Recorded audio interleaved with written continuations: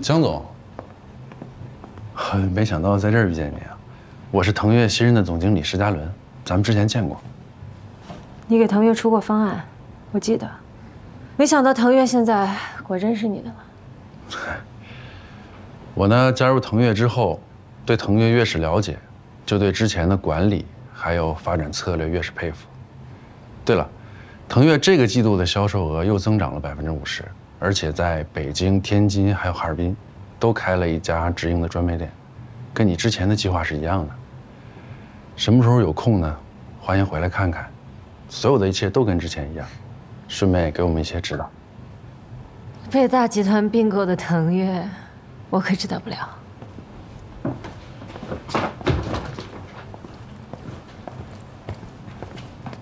被大集团并购，为什么要暂缓？腾越方面并购流程的跟进，我的工作不需要向你交代。你什么时候学会自欺欺人了？是陷入感情当中无法自拔了吗？这跟感情没关系。我知道你不希望腾越现在被收购，可是拯救不了你跟江湖之间的感情。他什么都不懂啊？难道你跟着一起糊涂吗？我都说了，这和感情没关系。好，就算是跟感情没有关系，徐思。咱们是投资公司，你把项目做成主营业务，你想让整个行业看咱们的笑话吗？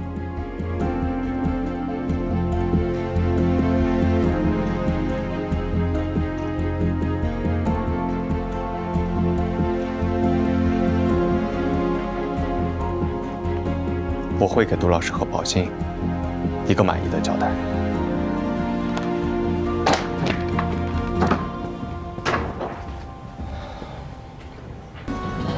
喝什么？还是莫希头？师兄，有话直说。腾越的事，你到底怎么想的？为什么到现在还不推进合同？你不会真的不打算推进了吧？你不是说过会尊重我的判断吗？我那是要尊重你作为一个从业多年投资人的判断。你看看你现在，哪一点像投资人？农林林清好了。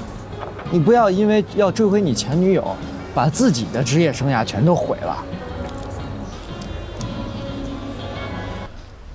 我今天来这里才发现，上次我跟你在这里下的这盘棋，已经下到最后一步了。这最后的局面，还真有点意思。你看，向前一步。大获全胜，而后退一步，则满盘皆输。我明白。你当时为什么不把这盘棋下完呢？因为当时，你我都没有心情下完这盘棋。你现在呢？有心情吗？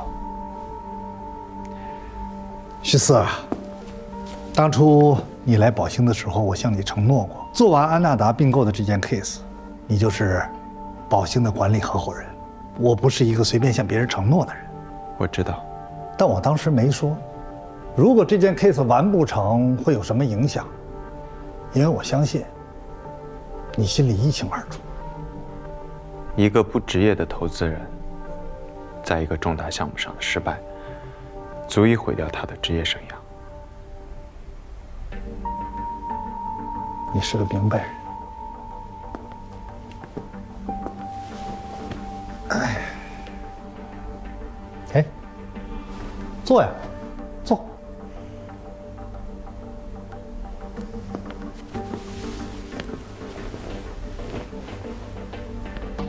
许思啊，你还年轻，啊，不要做出什么不理智的决策，那样的话。你在这个行业八年的积累可能会毁于一旦。